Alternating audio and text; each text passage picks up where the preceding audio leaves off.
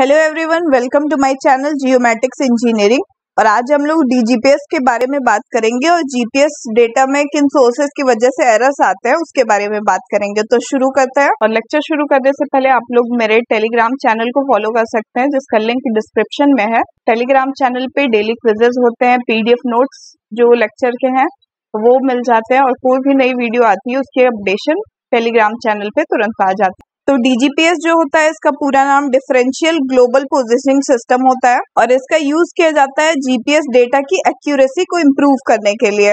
तो इस सिस्टम के यूज़ करने से जीपीएस डेटा की एक्यूरेसी जो है 15 मीटर से 10 सेंटीमीटर तक की एक्यूरेसी इम्प्रूव की जा सकती है। तो डीजीपीएस सिस्टम जो है कैसे वर्क करता है? तो इसके तीन कंपोनेंट्स होते हैं, एक तो जीएनएसएस सैटेलाइट दूसरा बेस स्टेशन और तीसरा जो है मूविंग स्टेशन होता है, जिसको रोवर स्टेशन भी बोलते हैं। तो इसमें क्या होता है कि जो बेस स्टेशन होता है, उसको एक परमानेंट नॉन पोजिशनल कोऑर्डिनेट होते हैं जहाँ पे, वहाँ पे इस स्टेशन को सेटअप किया जाता है और ये जीएनएसएस सैटेलाइट से सिग्नल्स रिसीव करता है। सिग्नल्स रिसीव करने के बाद इसके पास जो उस पोजीशन के नॉन कोऑर्डिनेट्स होते हैं, उसके साथ में ये सैटेलाइट सिग्नल से रिसीव होने वाले कोऑर्डिनेट्स का कंपैरिजन करता है। और उसके बाद उस डेटा से जो डिफरेंस आता है कोऑर्डिनेट्स में तो उस डिफरेंस को अप्लाई किया जाता है फिर मूविंग स्टेशन पे।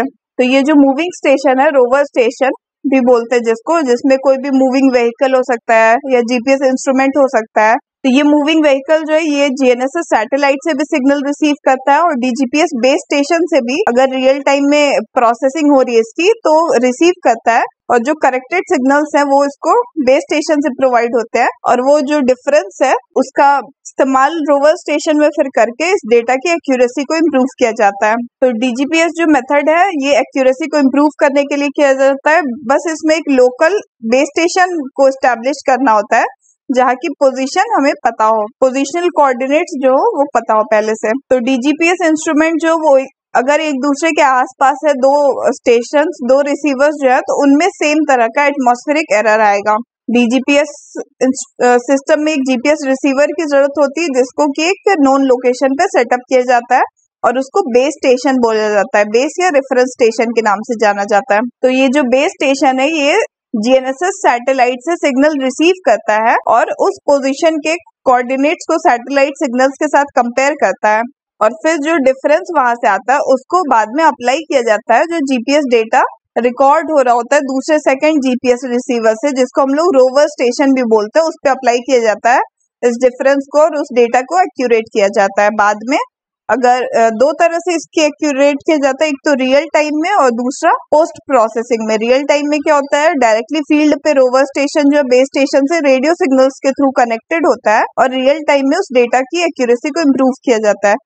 पोस्ट प्रोसेसिंग में क्या होता है कि रियल टाइम में बेस स्टेशन रोवर स्टेशन एक दूसरे से कनेक्टेड नहीं होते हैं इंडिपेंडेंटली काम करते हैं फ़ील्ड पे और बाद में इसको पोस्ट प्रोसेसिंग की जाती है सॉफ्टवेयर के थ्रू और वहाँ पे इसकी एक्यूरेसी को इम्प्रूव किया जाता है। इसके बाद बात करते हैं जीपीएस में एरर्स जो आते हैं, किन सोर्सेस की वजह से आते हैं।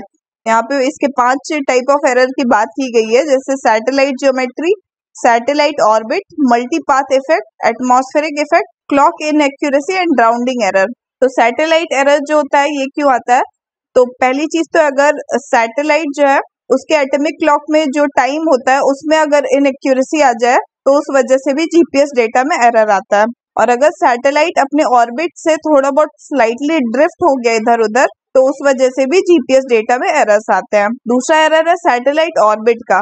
ये भी है कि अगर सैटेलाइट जो है अपने ऑर्बिट से स्लाइटली शिफ्ट हो जाता है ग्रेविटेशनल फोर्स की वजह से तो भी उस डेटा में एरर्स आ सकते हैं।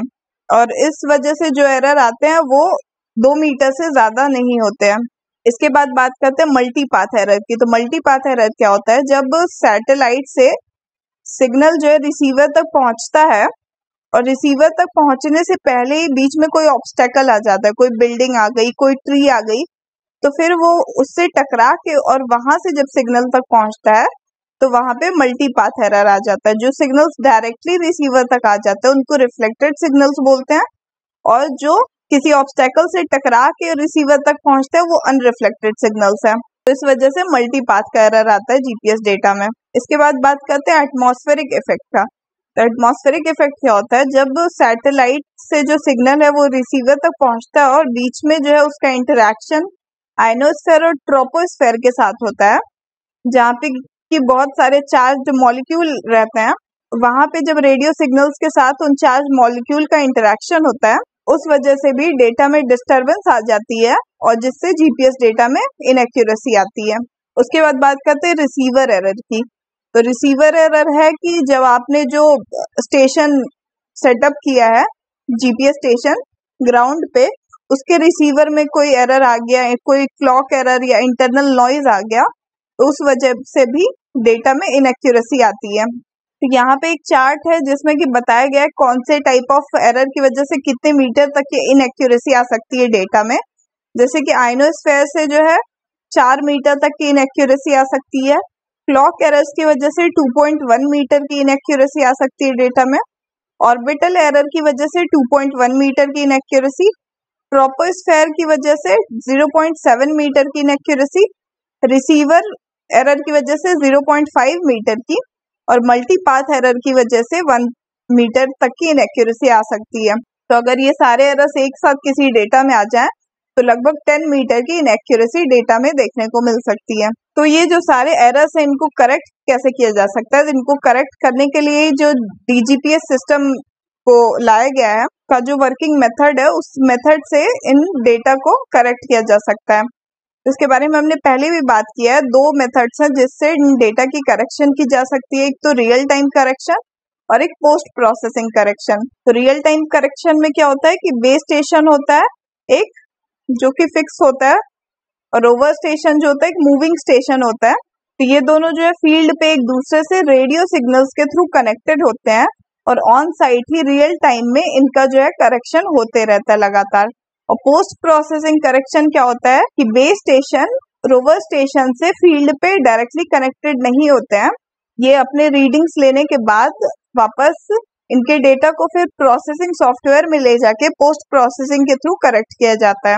तो आई होप कि आप सबको डीजीपीएस के बारे में और जीपीएस डेटा एरर्स और उनके करेक्शन कैसे किए जाते हैं, इसके बारे में अच्छे से समझ में आ गया होगा। तो आप सबका बहुत बहुत धन्यवाद इस वीडियो में बने रहने के लिए। Thank you very much